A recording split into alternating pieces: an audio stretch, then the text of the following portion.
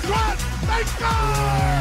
They score! Welcome to God's Playbook with your host, Father Rico Passero. Lock at the 20, 10, 5, touchdown! Touchdown! Let's play ball. Friends, welcome back to God's Playbook. Today, the saint of the day, Saint Ignatius of Loyola, is one that helps us to really hone in on a particular way of praying, which we call the Ignatian way of prayer. So let's unpack this powerful disciple of Jesus who helps us to come to dialogue with God in a very real and tangible way. Saint Ignatius was born in 1491 and he died in 1556. Known as Saint Ignatius of Loyola to each of us, he was a Spanish Catholic priest and theologian and founded the religious order called the Society of Jesus, or best known as the Jesuits. Pope Francis is a member of the Jesuit community. So, a religious order that truly focuses on the missionary work and teaching of Jesus as they share that with the world. In addition to the vows of chastity, obedience, and poverty, St. Ignatius instituted a vow for Jesuits of obedience to the Pope and to pay attention to special projects that are given by the Holy Father. It is the Jesuit community that were instrumental in leading the Counter Reformation. For those of you church history buffs out there, your eyes just got big. St. Ignatius helps us to grow in what's called the spiritual exercises or Ignatian spirituality. And so I wish to give us a crash course on what that looks like because Ignatian spirituality is one of the most popular forms of spirituality that we find in our church. When we think of Ignatian prayer, friends, it's often defined as imaginative, reflective, and personal. St. Ignatius encouraged people to develop an intimate relationship with God, a God who loves them and desires the best for them. Ignatius trusted human desires. He believed that our deepest desire is to return to God's love. And so he also trusted human feelings, though. He believed that feelings of joy and sorrow, peace and distress were important indicators of a path toward fruitful decisions and a deeper union with God. At the heart of Ignatian prayer, friends, are what's called the spiritual exercises and the daily examen.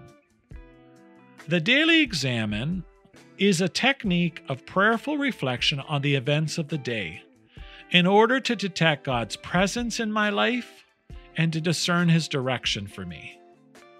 The examen is an ancient practice in the church that can help us, friends, to see God's hand at work in our daily experience.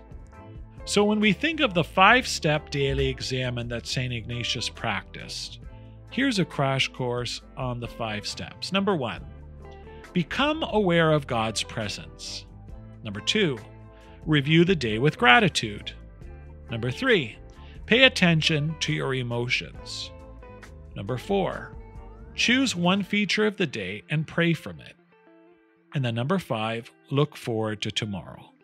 So, again, Number one, be aware of God's presence. Where was God with me throughout the day? Number two, to review the day with gratitude. Lord, thank you for the things that you've given me. Thank you for the gift of today. Number three, pay attention to your emotions. How did I feel through the day? Lord, today was a day of great frustration for me. Lord, today was awesome. Number four, choose one feature of the day and pray from it. Lord, I'm just so grateful for my wife because I can't imagine my life without her. Lord, thank you for the gift of my granddaughter. She brings such joy to my life. Lord, thank you for the gift of yourself in the Eucharist today. Only you give me strength. And then again, number five, friends, looking forward to tomorrow. Lord, thanks for the blessings that bestow me tomorrow. I'm heading to bed. These examens that we can examine our lives each day help us to really enter into who God is and how we spent our day. Some of his spiritual exercises, friends, have to do with reflecting upon the scriptures and then helping us to identify what the scriptures mean for each of us. The spiritual exercises of St. Ignatius help us to come to know ourselves and God.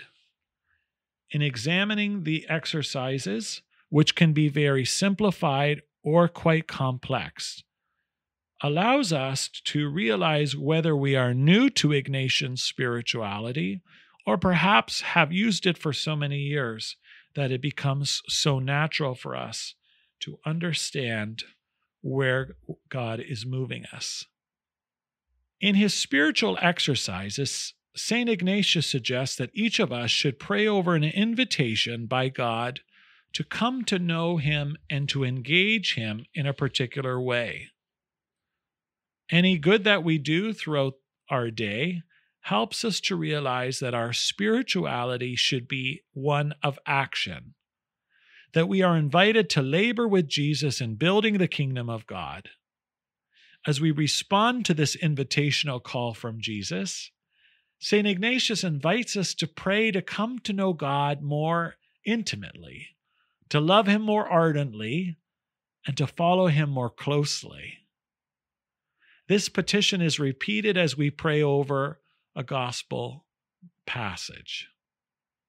As we pray over the passage, we are invited to enter into the gospel story. Think of a character that we might want to be. What would it have been like to be in that story, to hear the call of Jesus as he calls Zacchaeus from the tree? What would it have been like to be one of the mourners that were crying over the death of Lazarus, only to see that Jesus raised him from the dead? What would it have been like to be fed by Jesus with those few loaves and fishes on the mountain? Each of us can become a main character in the story, or we can become a bystander or friend that we invest in this prayer as we prayerfully discern the passage and its impact on us. Then it's important that we move through the exercises to pray over the passage and to pray as though we're having a conversation across the dinner table or in our living room with someone we love or respect.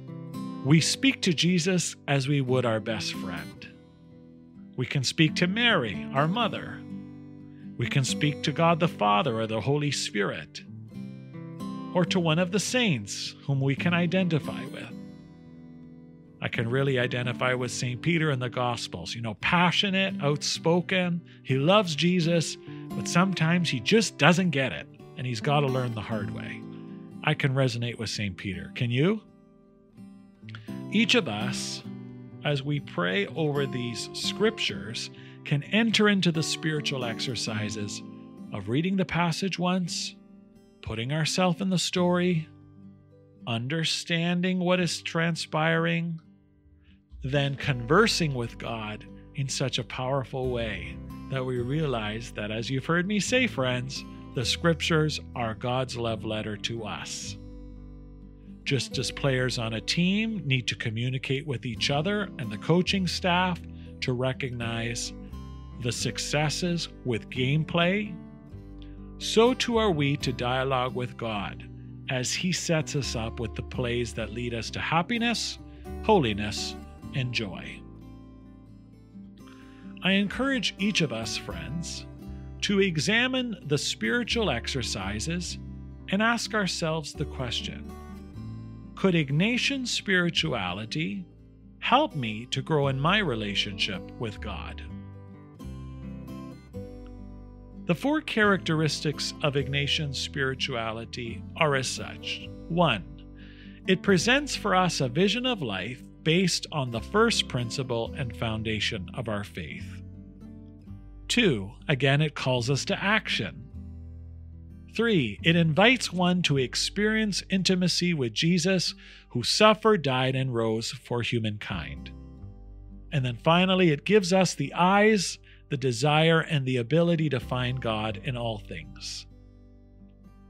This spirituality that God has given to us through the hands of St. Ignatius help us to engage with others who know that to pause and reflect allows us to know God, to know that He's present in our life more than we can ever think or imagine. Friends, if this is touching your heart, if you're finding that your prayer life right now might be stale or dry, perhaps the saint of the day may be inviting us to a, a different way of praying. I invite you to look up Ignatian spirituality or speak to your own local priest or religious sister about that. Perhaps the Lord is inviting us to feel his presence more than we ever have before. With so much focus on St. Ignatius talking about the contemplation on the love of our God and his presence in our lives, may we open ourselves up to this spirituality and challenge ourselves to grow just as St. Ignatius did. Let us pray. Loving and gracious God, we thank you for the gift of St. Ignatius. We thank you for the gift of the Jesuit community throughout our world, who has made such an impact on teaching others about you. Help us to open our hearts to embrace this form of spirituality, to pray over the scriptures, and to look up upon our day and realize all the daily blessings you've given to us, the joys of the day, and also the challenges that may face us tomorrow. Help us to embrace your word and the scriptures with joy and to realize that each of us are active members of your family as you call us to love, to build, to forgive, and to understand. Amen. St. Ignatius of Loyola, pray for us. For God's Playbook, I'm Father Rico. God loves you, and so do I. If you like what you hear, please consider supporting us on our Ko-Fi, ko-fi, or GoFundMe at God's Playbook Podcast. Thanks, and God bless.